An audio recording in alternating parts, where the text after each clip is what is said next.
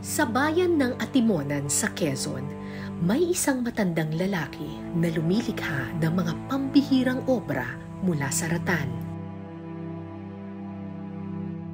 Marami ng turista ang tumangkilik sa kanyang mga gawa, pero sa loob ng dalawang dekada, wala pang nakakakita sa kanyang mukha.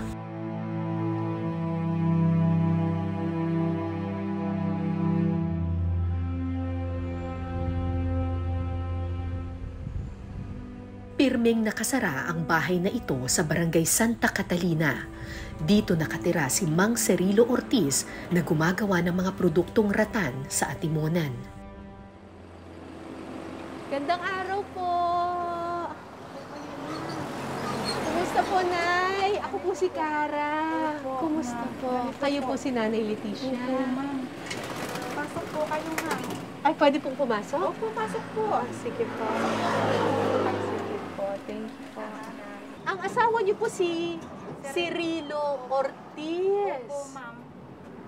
Nasaan po si ah, Kuya Cirilo? Ay, nag, nung nga pong tawag ni Marelo, siya ay nag-akit na po ma'am sa itaas kasi po siya ay ma'am ay may nervous breakdown po siya. Hindi po siya kagaya natin na nakakasalamu nakakasalamu po sa tao. Nakakulong po siya sa taas? Pag po may ibang tao, ma'am, siya po ay naakit sa itaas. Yan po. Sa isang madilim na sulok sa kisame, nakatago ang anino ng isang lalaki. Bakit po po pumanik sa taas? Ay, hindi po pa, hindi pa po niya kayang sumulator po sa mga ibang tao. Kami, lang pong pamilya ang kaya niyang gawa na siya po yung nagkapunan. Nasaan si Lolo? Ah, nasa taas. Pero sila, nakaka, nakakausap nila si Lolo. Opo, ah, dito po kanina nakaupo naglalala. Ah, so pag kayo, pumapayag siya. Opo, okay naman po. Pero pag may ibang tao, hindi na siya lalabas. Dalawampung taon na raw nagtatago sa tao si Mang Cirilo. Nagsimula ang lahat nang pasukin sila ng mga armadong lalaki. Ilan po lahat? Tatlo lang po yung nakita ko na sabi po ay sila daw po ay makikisindit makikiinom. Tapos yung pala marami pang ibang Marami na po kasama. sa likuran ng bahay namin. Tapos anong ginawa sa asawa ninyo? Ay, pinili po ang kamay, ginapos. Bago sa ko po ginapos din. Hindi nila alam kung bakit sila nilooban, posibleng napagkamalan, pero nadamay pati ang kanilang dalawang anak. Sabi ko, dinala na ata yung dalawa nating anak. Sabi ko po doon sa asawa ko. Mm-mm. Sabi ko, hindi ko tatay kakayanin pag yung anak natin nawala. Mm-mm. Sabi ko, ganyan, yan lang ang ating yaman, Mm-mm. ang anak natin. Saka po Mm-mm. yung asawa ko, nakita ko po siya na ganyan na. Sabi ko, napapaano ka? Natitigas daw po yung ganarin niya. Saka ginagayon po yung dibdib. Kaya doon po yung nagsisimula. Kalaunan na rescue ng mga sundalo ang dalawang anak ni Nanay Leticia. Pero ang kanyang asawang si Cirilo hindi nakaligtas sa bangungot ng nakaraan. Kaya una po siya, lagi na po siyang tulala. Mm-mm. Sabi po niya ay magtatago daw po kami sa gubat. May dala po kaming trapal. Mm-mm. Tatago po kami, doon po kami natulog. Ayaw po niya nang makita ang mga tao. So palagi siyang nanginginig basta nakakakita ng mga tao. Opo, ma'am. Oo. Opo, ay nagsasarado na ng aming... Nasili po siya, nakaganyan siya, ma'am. Oo. Pag hindi po niya kaya, ay natakbo puro sa sulok. Tapos, Nangingilig po. Mm. Maya-maya, bigla akong nakarinig ng ungol mula sa kisame ng bahay. oh my gosh, ninenervous na po. Di po nakakayanin. Baka hindi kayanin, ano sir. gagawin natin? Ay, di ano po siya. Magsa- magsasarado na po kami. ng Ay, bahay. magsasarado na kayo. Tay, pasensya na po. Dali-daling nagsara ng pinto at bintana ang buong mag-anak. Umakyat sa kisame si Nanay Leticia para pakalmahin ang natatakot niyang asawa. Pasensya na po, Nay. Hindi, hindi namin akalain na gano'n ang ano sa Ganun kalagayan. talaga siya, ma'am. Ayaw niyo po bang magpapunta ng doktor dyan para po matsingnan siya? Hindi ko man na nga po alam, ma'am, kung ano pong gagawin ko na.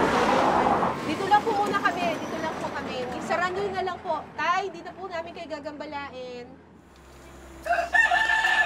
Kinabukasan, maagang naghanda papuntang gubat si Nanay Leticia at ang kanyang mga apo.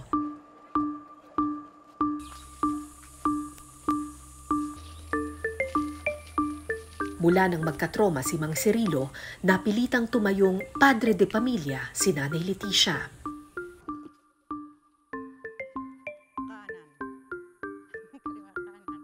Sabi ko ay ik- ako nga ka ako'y nakaya ko. Kaya mo din dapat yan. Mm-mm. Ikaw ang father di pamilya. Sabi ko, alam mo ka ako'y mahirap ang ang asawa, hindi naghahanap buhay, hindi ko kaya. Mm-mm. Sabi ko ang ganyan.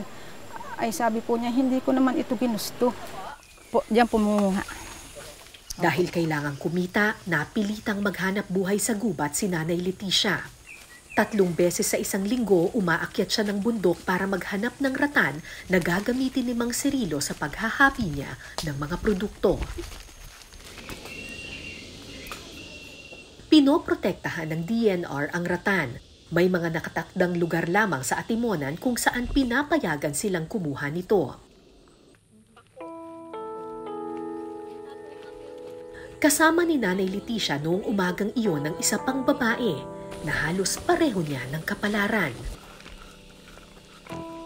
Tulad ni Nanay Leticia, napilitan ding magtrabaho sa kagubatan si Aling Alicia matapos mabaldado ang kanyang asawa. Hanggang sa dumating po na siya ay na-stroke. Bali, dalawang taon po siya na talagang hindi siya makakilos. Mm-mm. Ah, siya po ay aking pong pinaliliguan, sinusubuan. Talagang hindi siya kayang kumilos. Eh, Ako po ang halos ang tumutulong sa kanya.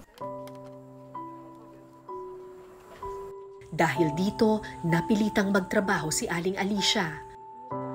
Natuto siyang maghabi ng ratan, natuto siyang umakyat ng bundok at sumuong sa kagubatan. Naalala ko lang po ang hirap ng binanas ko po doon kasalukuyang talaga po ang mister ko hindi nakakakilos. Nahahalos talaga po ako eh, parang mabaliw noon na halos talaga hindi ko po kaya. Pero na rin po ang aking mga kaibigan umaalalay at ang sabi sa akin, kaya mo yan. Basta malakas lang loob mo, tibayan mo, makukuha mo yung gusto mo. Ipinanganak na kulang ng daliri si Aling Alicia.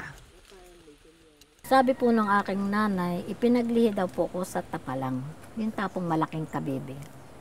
Pero kahit po may kapansanan kayo, hindi po naging hadlang po ito. Hindi po, ma'am. Parang normal po sa akin ang paggawa. Parang ting pong buo ang aking... Parang hindi po kulang. Dahil kulang ng daliri nakakapit sana sa mga halaman at baging, doble ang hirap ni Aling Alicia sa pagkuha ng ratan.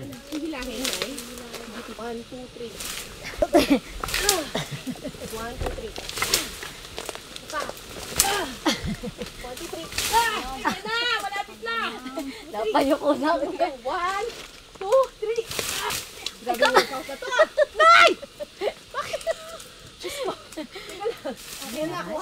Ah, mura na yan. Mura na po, ma'am.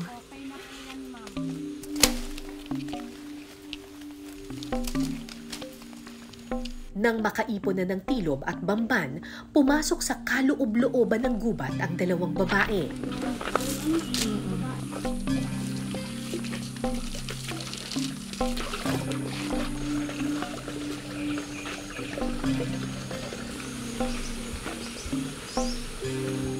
Maya-maya, tumambad sa amin ang pulutong ng matitinik na ratan. So ito yung ratan. Ito yung tin ay, Diyos ko. Yung tinatawag nilang uway o ratan. Nakikita ninyo talagang nakabalot siya ng tinik. Ang tanong paano yan kukunin? Ang ratan ay isang uri ng baging na matatagpuan sa mga kagubatan ng Asya. Matibay at madaling ihulma ang ratan, kaya madalas itong gamitin para sa mga basket, bag at upuan. Pero dahil sa mga tinik nito, pahirapan ang pagkuha rito.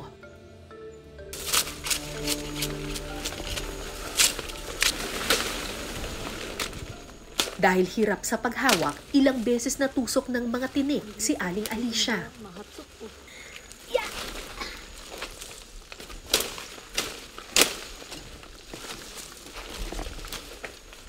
Kabila ng kanyang kapansanan, tuloy sa pagtatrabaho si Aling Alicia.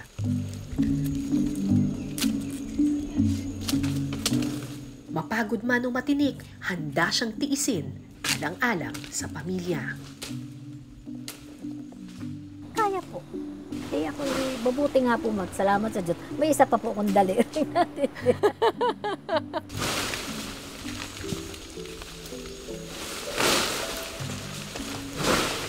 Habang nangunguha ng ratan si Aling Alicia, abala naman sa paghila ng baging si Nanay Leticia at ang kanyang apo na si Steven.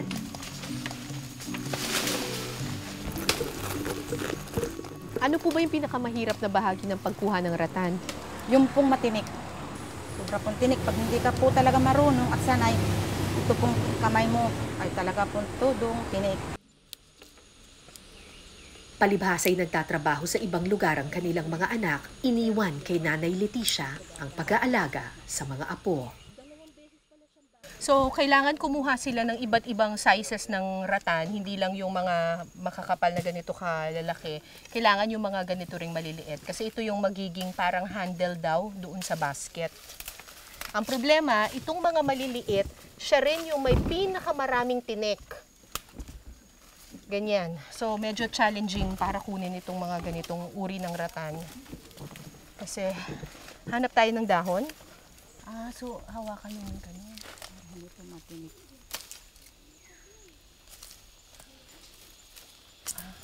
So dati rin po nasusugatan talaga kayo. Ito po ay nung bago pa ay talaga pong itong mga ganito ko po ay ang daming tinik. Daming tinik, Opo. daming sugat. Oo. Tinik po yung aking dulo ng daliri. Oo. Pero ngayon sanay na kayo. Opo, ang ginagawa ko po, nakuha ako ng balat ng mga dahon. Dahon. Opo.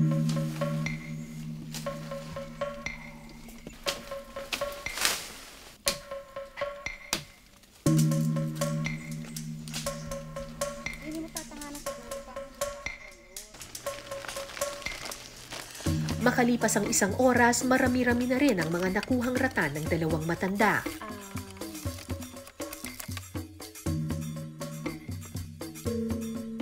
Isa-isa nilang kinayas at tinanggalan ng tinik ang mga nakuha nilang baging.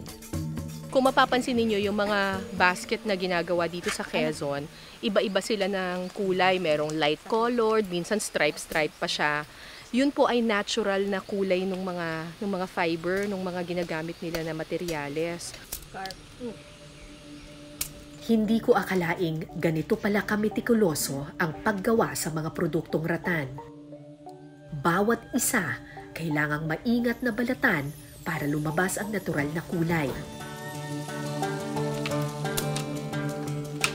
Mag-aalas 12 na nang matapos kami sa pagtatanggal ng tinik, pagkikinis at pagbabalat sa mga ratan.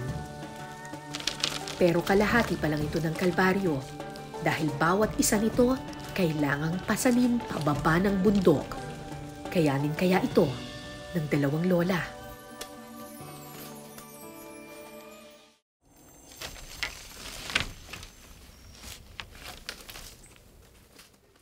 Bungkus-bungkus na itinali ni Nanay Leticia ang mga nakuha nilang ratan, tilob at bamban.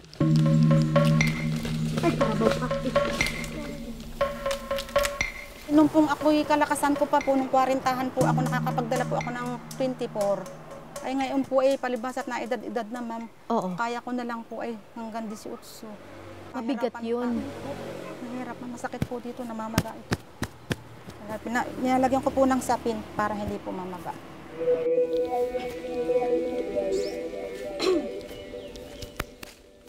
Dalawa hanggang tatlong oras itong papasanin ni Nanay Leticia. Kaya naghanap sila ng shortcut na daanan.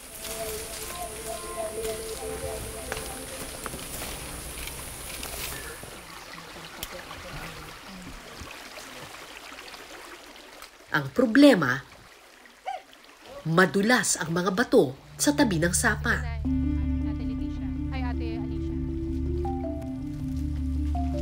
May malalim dyan, Nay. Ay, Diyos ko, Lord!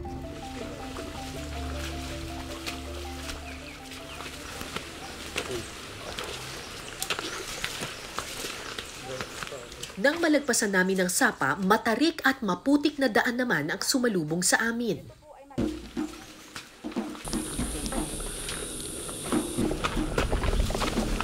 Sige po, hawak ko po. Teka, teka, ma'am. Unahin niyo muna to. Kasi akayot ko to sa inyo. Sige po, madilas ang tsinelas niyo eh.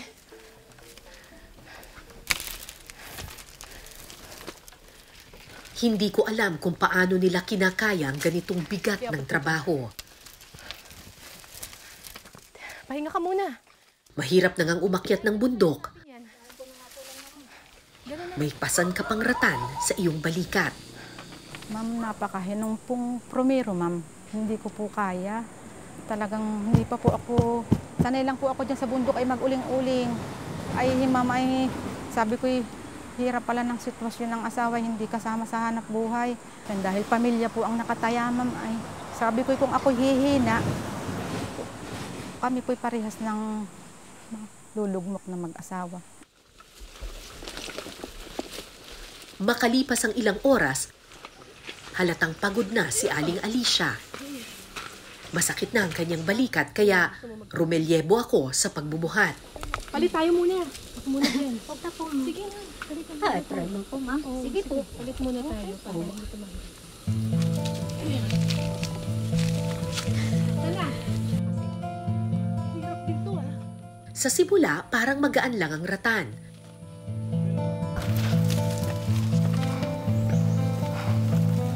Pero habang tumatagal, bumibigat ng bumibigat ang pagpasan. Idagdag pa na napakadulas at napakatarik ng daan.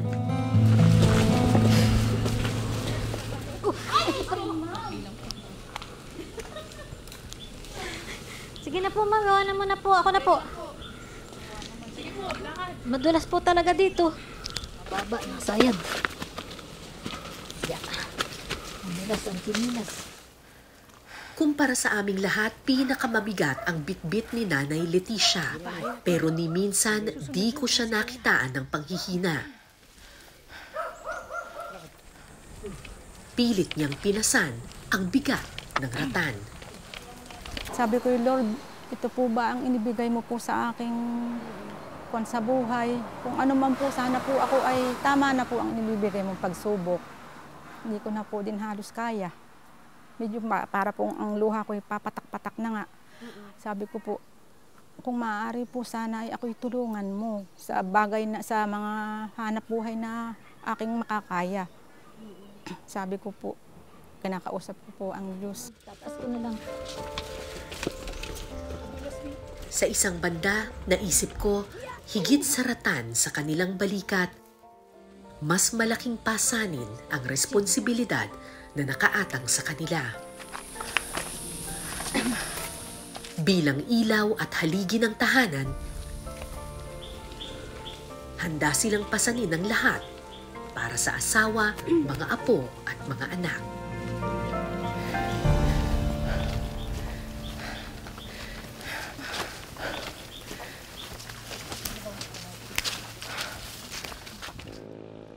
Tanghaling tapat na ng marating namin ng bayan. Hindi ko alam kung magkano ang kikitain ni Nanay Leticia at Aling Alicia sa ratan na kalahating araw nilang pinaghirapan. Sana nga sulit ang kanilang pagod sa pagpapasan.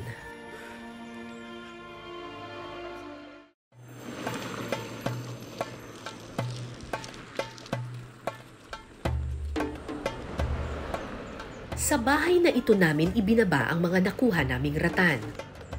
Unang isinalang sa bentahan ng mga ratan ni Aling Alicia. Magkano bili dyan, Nay? Ano, limang piso ang, Isang peraso. ang ganito kahaba? Ay, mura lang pala, ano? Tapos ang ganun, Ocho. 8. Ah, So, 45. 45. Ang hirap pa sa ninyan, 45 lang pala, no? Ganun ma'am kahirap talaga.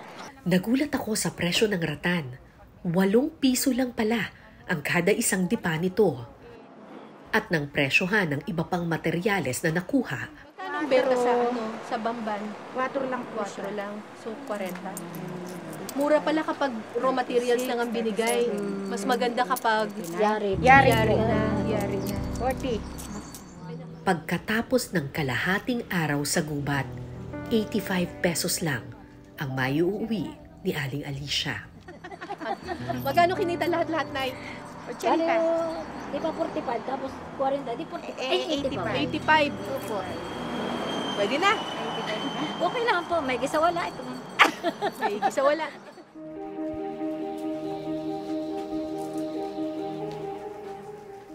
Labing limang taon na sa negosyong ito si Lucy. Isa siya sa mga naunang gumawa ng rattan products sa Atimonan, Quezon. Ani Lucy, noon daw in demand ang rattan kaya mataas ang presyo nito. Pero simula nang mauso ang synthetic o plastic na rattan, unti-unting bumaba ang demand sa kanilang mga produkto. Kaya importanteng dekalidad at pulido ang pagkakagawa sa rattan. Tulad ng mga obra ni Mang Cirilo. Siya ay sa pool kong kilala dito sa amin. Mm-mm. Alam ko yung buhay niya. Mm-mm. Tapos, ah, inoperan ko siya. Pero itong si Tatay Cirilo, hindi nyo naman nakakausap. Eh, nakikita niya ako, nagsasalita ako, nakikinig, nakikita niya yung pagsasalita ko. Ang kausap ko yung asawa niya. Sa tulong ni Lucy, regular nang may umo-order ngayon ng mga obra ni Mang Cirilo. So hindi Hindi mo alam ang, ang mukha niya. Alam ko yung mukha niya nung dalaga pa ako. Nung nakakalabas pa siya, before Oo. na siya ay matrauma. Pero nakakagawa siya ng magagandang basket. Oo. Sabi ko nga, eh, ano talaga siya, mauido. Kasi nape-perfect niya yung inaasahan ko, nape-perfect niya. Noong araw na iyon, 60 pesos lang ang kinita ni Nanay Leticia sa mga nakuha niyang ratan. Ibibenta mo yung lahat. Ibibenta mo lahat.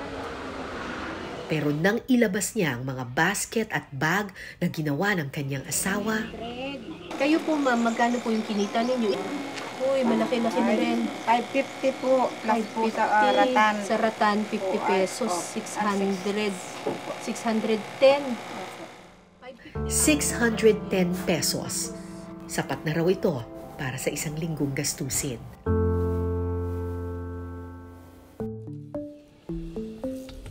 Para sa atin, maliit na halaga lamang ang 85 pesos na kinita ni Aling Alicia o ang 610 pesos na kinita ni Nanay Leticia sa ratan. Pero para sa dalawang babaeng ito, hindi naman pera ang pinakamahalaga. Higit sa kabuhayan, buhay at pag-asa raw ang biyaya ng ratan.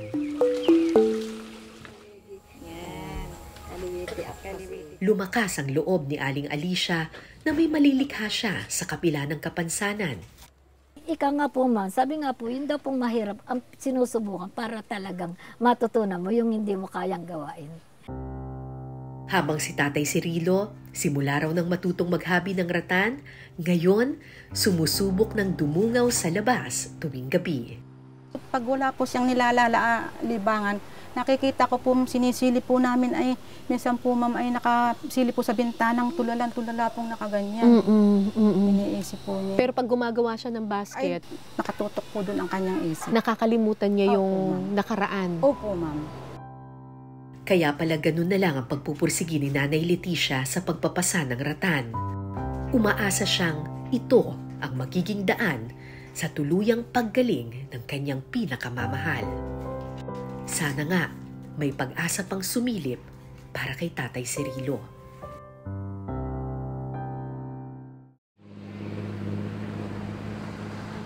Sinubukan naming hanapan ng doktor si Mang Cirilo. Pero wala raw naka-assign na psychiatrist sa Atimonan. Nanay, kakausapin po muna natin yung doktor na nasa Maynila po, ano? Para lang po mabigyan tayo ng background. So, ito po si Dr. Refarial, si Dr. Joan po. Hi, Good morning po.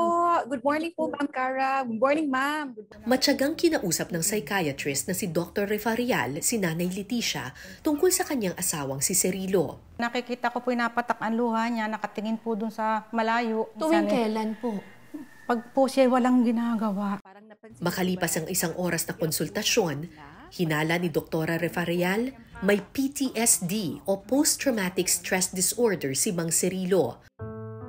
At dahil hindi niya napatingnan sa doktor noong unang nangyari ang trauma, dalawang dekada niyang pinasan ang takot sa nakaraan. Ayon kay doktora, nakatutulong daw sa mga taong may mental health condition ang paggawa ng maliliit na bagay tulad ng ginagawa ni Mang Cirilo na paghahabi ng ratan. At least napipreoccupy at nagiging productive pa rin po si tatay at nawawala na yung kanyang mga na temporarily nadidistract siya Oh. doon sa ano sa Oh. mga nangyari negative in the past. Mahalaga rin ang suporta ng pamilya. Huwag din daw pipilitin ng pasyente na gumawa ng mga bagay na hindi pa siya handa. Ang goal po doon na is maramdaman ni tatay na hindi siya nag-iisa at yung mga nararamdaman po niya ay totoo. Para maramdaman po niya na valid ang kanyang mga nararamdaman po, huwag natin po siyang iwanan mag-isa na. May pag-asa pa po ba? Yan ang gusto kong i-emphasize ka na, kay nanay na huwag mawalan po nay ng pag-asa. Madalas sabihin na ang mga babae ang ilaw ng tahanan. Pero sa kaso ni Nanay Leticia, hindi lang siya ilaw, kundi haligi rin ng kanilang tahanan. Ang akin pong panaido sa asawa ko ay gusto ko po siyang mapagamot para yung pong kanyang buhay na, na ito pa sa lupa ay kung ano po ay di magsama, makasama ko pa po ng mahaba-habang panahon. Eh para sa sarili niyo po, ano pong hinihiling ninyo sa Diyos? Ako po ay, ang hiling ko po sa Ama ay bigyan pa niya ako ng mahabang buhay at lakas para po sa aking pamilya.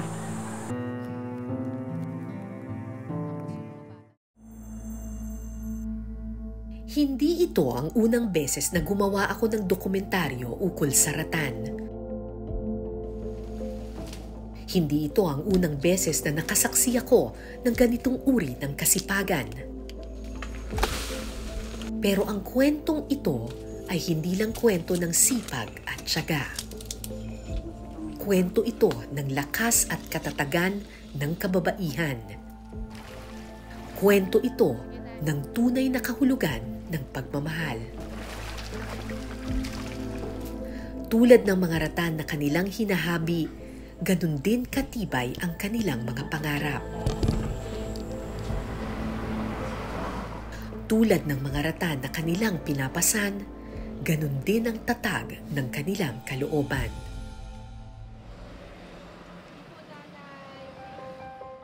Nung araw ding iyon, nagpaalam ako kay Nanay Leticia at sa kanyang pamilya.